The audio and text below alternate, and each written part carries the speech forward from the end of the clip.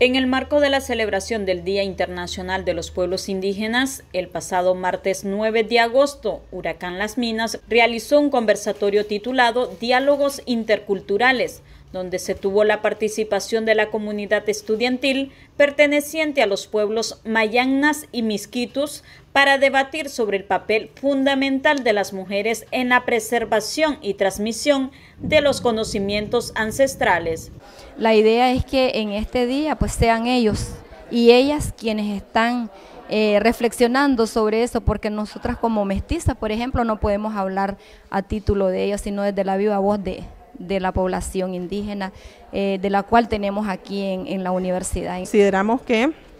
es más que una conmemoración, que una celebración, es apuntar hacia nuevas tareas y hacia eh, superar los retos que hoy los muchachos y muchachas pongan en sus mesas de trabajo y que nos puedan decir como universidad qué más, además de lo que hemos venido haciendo, tenemos que hacer para la restitución de derechos de, de hombres y mujeres de los pueblos indígenas de la costa caribe nicaragüense, que son quienes están convergiendo con nosotros en esta universidad. De cara a reflexionar sobre cuáles son esos aspectos relevantes de los pueblos,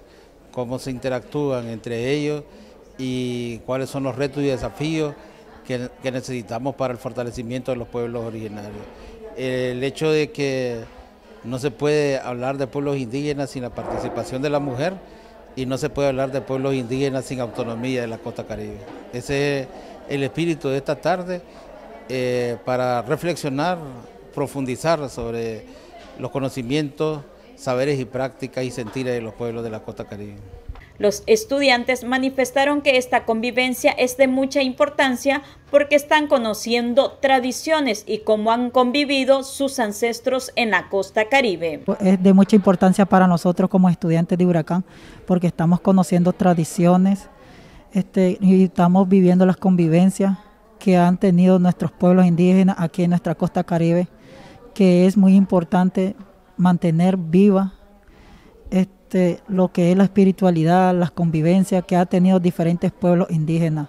Y gracias a Huracán que nos ha estado promoviendo este desarrollo económico como nosotros que somos futuros estudiantes de esta alma mater. Eh, este año nos han dado la oportunidad de transmitir nuestros conocimientos a las mujeres indígenas que por lo general no se han, no se han, perdón, no se han visto mucho, entonces estamos alegres de compartir esas experiencias y esos conocimientos que hoy nos han dado la oportunidad de brindarles y así debatirlos con ustedes para que nos apoyen en cualquier eh, circunstancia y estar aquí con ustedes para poder enriquecer más nuestros conocimientos y así poder convivir y